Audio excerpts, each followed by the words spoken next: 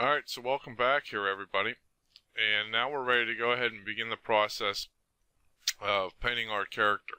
So what we want to go ahead and do since we already have everything pretty much filled with the objects and filled with the colors that we want, we're ready to simply just go ahead and um, block out some color and uh, the easiest way and I think the the more logical way here is what we're going to go ahead and do to me come over here and just import a texture into ZBrush here. And I've already gone ahead and made, you know, what would be a color swatch inside of Photoshop. And you can see here that I'm going to have the ability to go ahead and sample from it. So if we go ahead and hit spacebar, you're going to get your color picker. You just have to left click and drag the color that you want and you can simply sample that color. And then just simply turn off that texture and we can go ahead and actually paint with this. So if we wanted to, we'll just come in here, paint a little bit. Oops. And I'm making sure that I hit X so that I'm going to be able to paint on both sides of the model here. Okay, so we're just going to come in here and just start blocking out some color, and I think that is actually too dark. So let's go ahead and select this, and we'll take this lighter one go ahead and turn this off. And if you want, you can simply, you know, go ahead and fill the object and keep doing that until you get the sort of texture that you want or the sort of darkness that you want. You can always come up here and turn the RGB intensity to, you know, 100 and then paint it, uh, completely fill it that way, which you know, it might be the easiest solution here, but I also want to make sure that I have the right shader or the right material to go ahead and paint on. So if we come in here and you can see that I have a bunch of different materials in here, we can just take and walk through and see the material samples here and pick and choose the color that we want. And I think we'll go ahead and let's just take a look here to see which one we want to go ahead and paint with. Um, you'll notice that I'm actually looking through all of these because I want to make sure that I get the, the right sample here in the right sort of um, mix of color. So it looks like this is probably going to be the one that I want here. Okay, so I have the the basic color that I want and now I want to go ahead here and just start adding some more of the detail here. So what what I mean by that is I want to go ahead here and paint the stomach, and I'm not going to paint it 100% because that's going to really like drown out any other color that's in here. So I want to tend to paint it a low intensity. Okay, so we'll go ahead and paint some white in here, and making sure that I don't have any sculpting on here. So we'll just use our freehand brush go ahead and just try and paint in here. And I'm trying to paint it a, you know, clean sort of stroke because I don't want to make sure that I just want to make sure that I get the paint in correctly. Um, I don't really want to have any like messed up textures and this will just take a little bit of time to really go ahead and get all this painting in done cleanly. Okay. So we'll just have to... And it's basically like coloring, you just sort of want to stay with inside the lines. And that is probably too intense. Um, maybe darken that up just a little bit.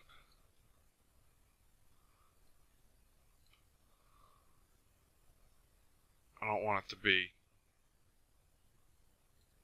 so blown out white. But I do want the belly to be white. I just don't want it to be, you know, overly white. So go ahead and just, you know, paint a couple strokes and see how it's working out.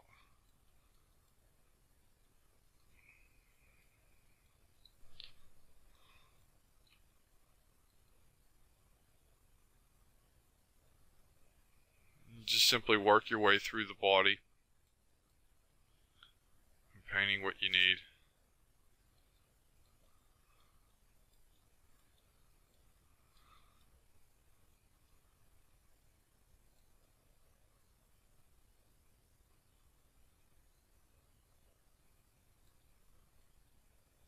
And then it'll really just come down to, you know, how much painting you really want to do and how good you want to make the overall textures for the body.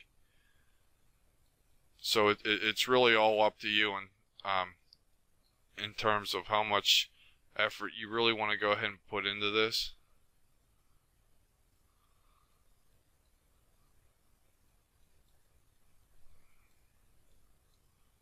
And you can see that I'm slowly just working my way through here.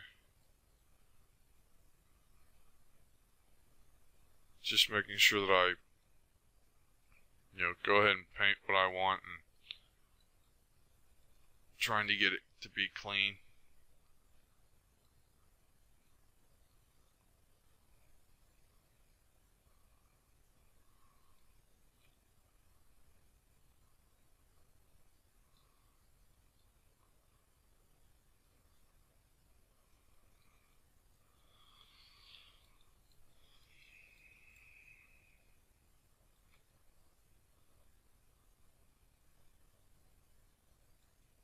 And I'll oftentimes use the Shift R BPR render to check to make sure that the colors are working, you know, cleanly in the way that I want. And it's definitely going to look a little bit different from ZBrush and then when we jump back to Maya because the material system is a little different in terms of the way that it's um, created. Okay. Let's come in and sample some more color here.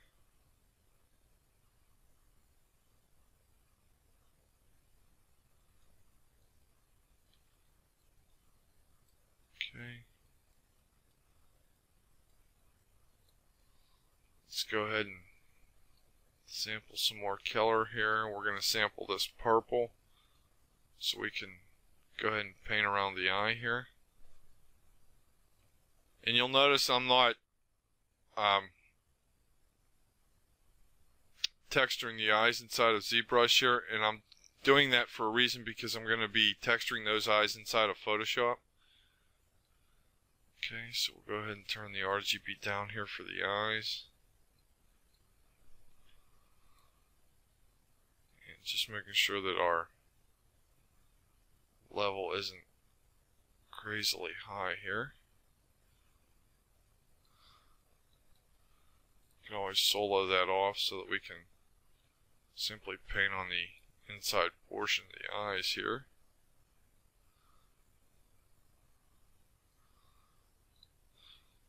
And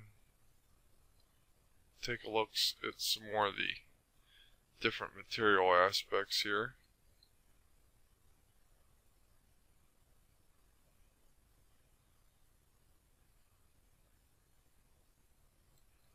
Okay, we'll go ahead and turn our eyes back on here. Maybe have to paint a little bit more on the side there.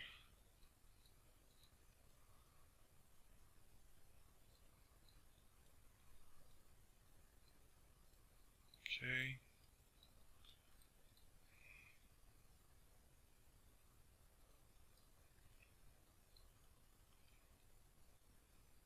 Just trying to smooth out the edges on that purple, which is probably a little bit too purple. So we'll go ahead and jump back and just lighten that up a touch.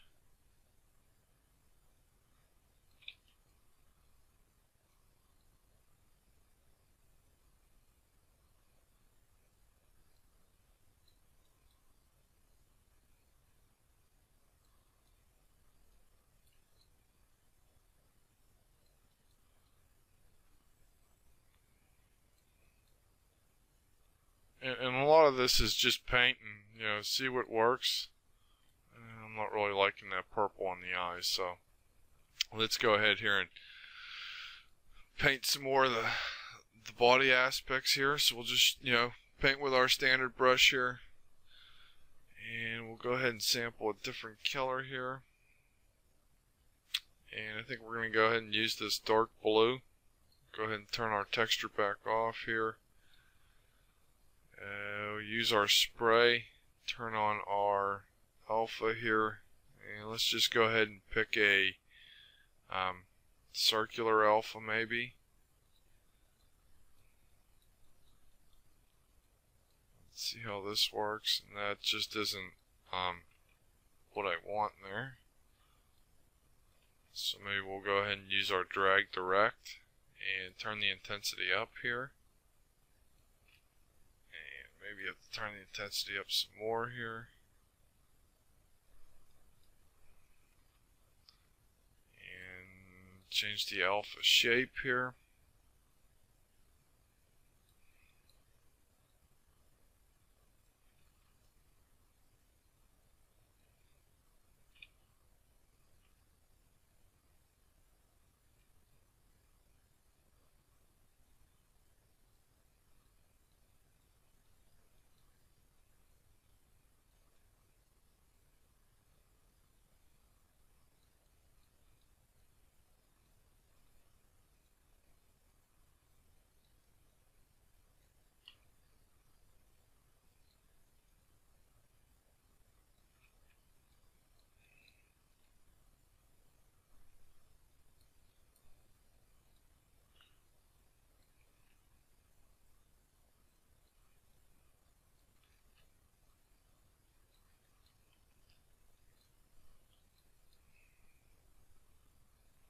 Go ahead and switch to white here and turn the intensity down.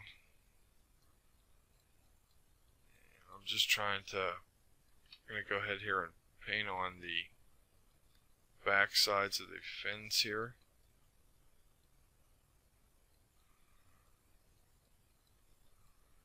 And I'm just trying to, you know, add a lot of variation to the overall color of the creature here.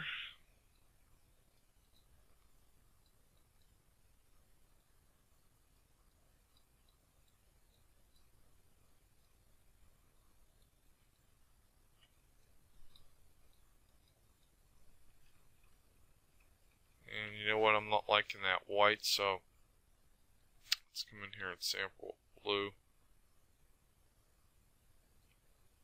And we'll go ahead and try a darker color here. That actually looks a little bit better. And maybe smooth out that color a little bit here. Let's go ahead and do the same thing for the rest of these fins here.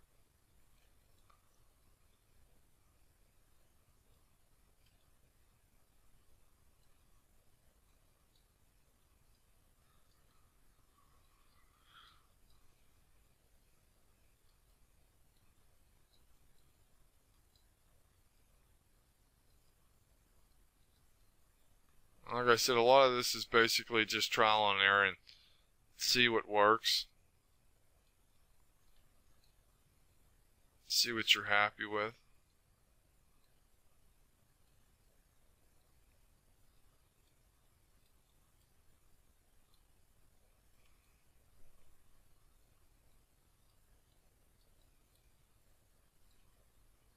Okay, I think that's looking good so far.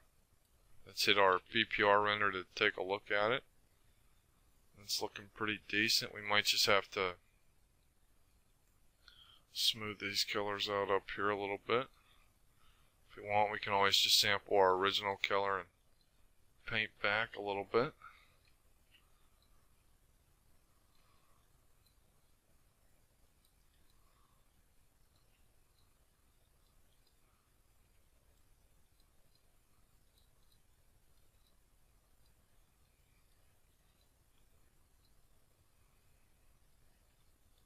Okay.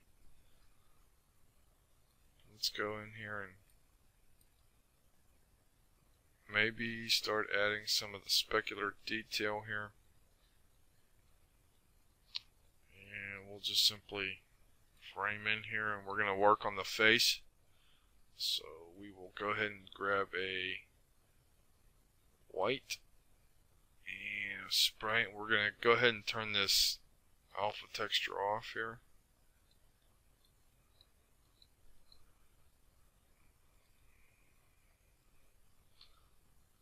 That is too intense there. And I actually want to sample the white from the under portion of the body there.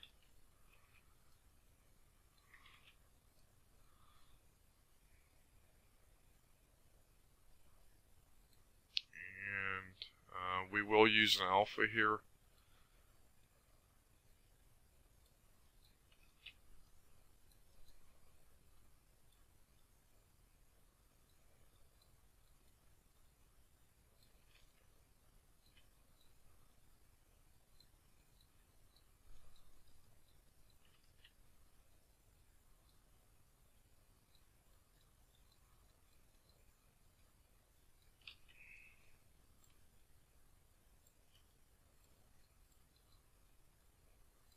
just put a little bit of white on the fins here.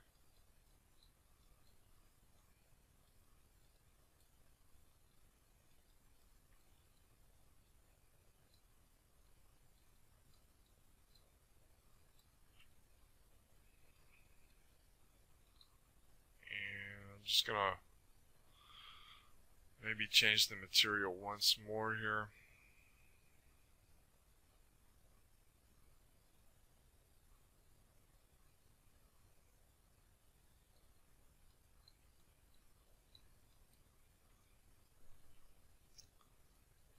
Okay, so now let's go ahead here and maybe just start adjusting this. And then the next lesson we will uh, go ahead and really refine and add some more of the detail for the for the body here. But I'm just trying to make sure that I get a sort of um, kind of like a water effect on the body, um, just so that everything looks, you know, the way it should. This is looking pretty decent here. Because I don't really want the body to be one basic color. I want it to have a lot of um, variability. And I don't want every, anything to sort of be uniform basically. Want to have a lot of variation here.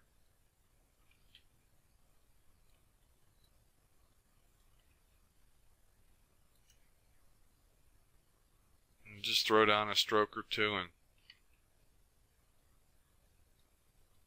work that way.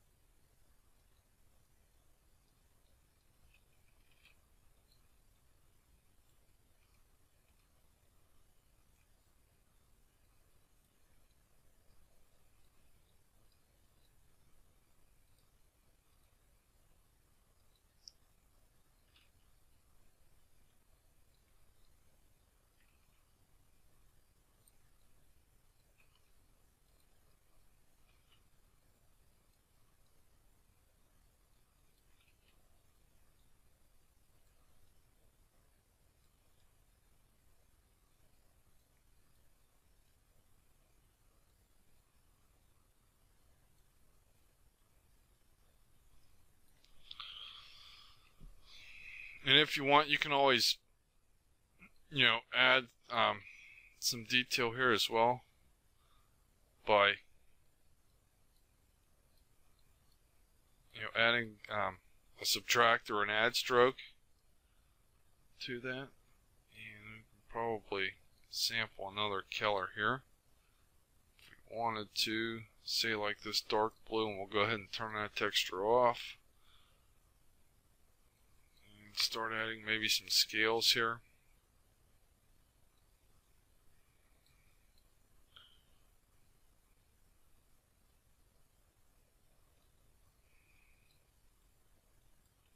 And the hard part with doing scales is you want to make sure that it's um, evenly distributed. So uh, I think we'll go ahead and call this for this lesson, and then we'll go ahead and come back and um, work on the process of going ahead and actually putting those scales through because that actually will take us, you know, at least a decent amount of time because we want to make sure that all those scales are going to look good whenever we go to render it. So, um, in the next lesson, we'll go ahead and come back and we'll go ahead and do that. So, um, continue watching and uh, I hope you're enjoying the tut.